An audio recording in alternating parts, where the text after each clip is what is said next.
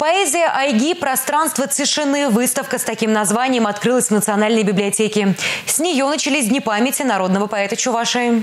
Эспиринринди шамбракрах чаваш поэзин чапла аша и сыртнягун шаваготрах эсхалах камаля малажа. Народного поэта Чувашии Геннадия Айги читают на 52 языках мира. Детство Константин Иванов «Снежинки». Эти стихотворения знают, если не всем, то многие. На этой же выставке постарались собрать малоизвестные произведения.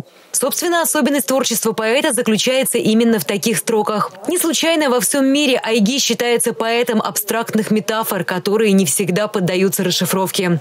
Это оставляет читателям простор для собственной фантазии. Я считаю, что для Чуваши это один из самых великих людей, которые принесли свой вклад в чувашское творчество. И этот человек известен во всем мире. А, очень часто приводились его тексты на английский язык, французский язык и другие.